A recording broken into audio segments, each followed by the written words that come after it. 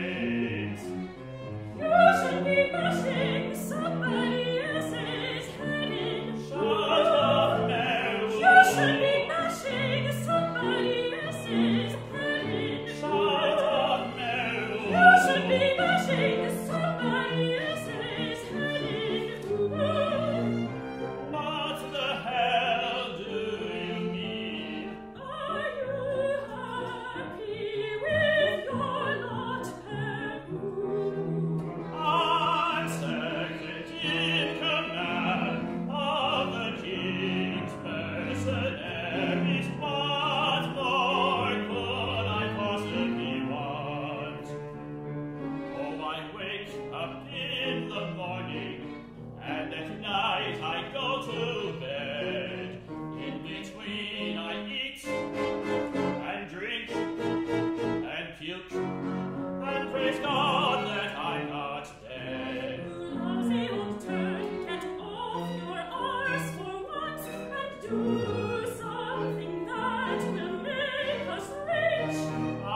content with my lot as I am. I could